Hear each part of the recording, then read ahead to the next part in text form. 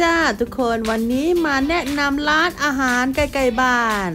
วันนี้กินอะไรดีเนาะอาหารเช้าเลยมาแนะนำที่นี่อยู่ที่รัฐกัวลาลุมโปจ้า หลายเจ้าเลยจะเลือกกับข้าวแบบนี้ก็มีผัดก๋วยเตี๋ยวก็มีผัดหมีหรืออขนมจีน ของมาเลเซียหรือพวกอาหารไทยก็มีนะ เลือกได้หลายอย่างเลยแหละ เย่มาแล้วชาและกาแฟของเรา วันนี้กินชาร้อน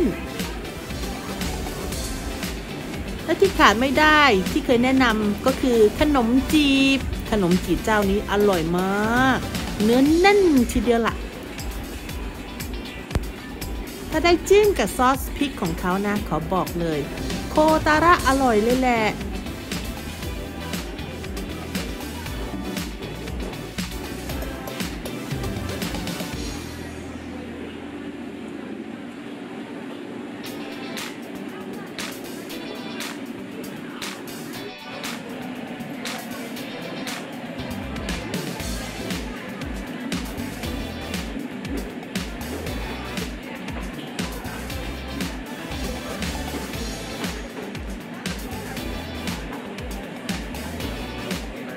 นมจีผ่านไปแล้วอาหารเช้าที่ขึ้นชื่อที่สุดใน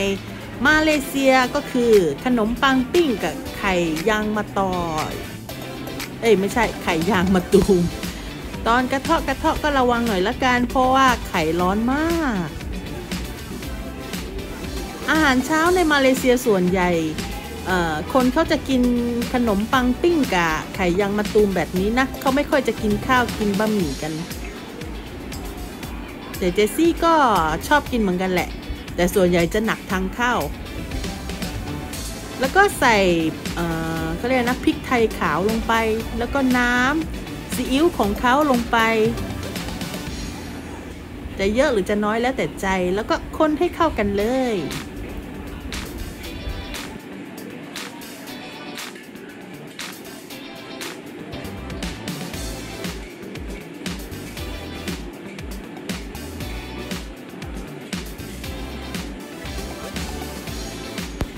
พอเข้ากันดีแล้วเราก็เอาขนมปังของเรา เนี่ย จุ่มลงไปเลย จุ่มเสร็จแล้วไงก็เอาเข้าปากเลย จะอร่อยมาก ๆ เลย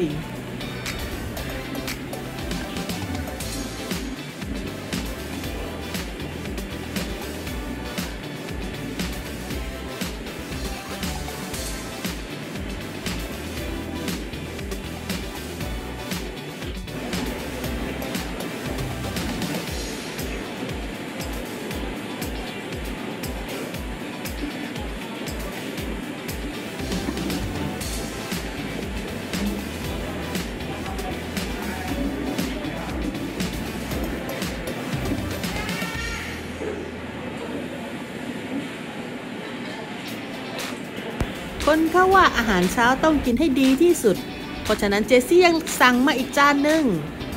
ขนมจีนของมาเลเซียเขาเรียกว่าลักซาปิน่ง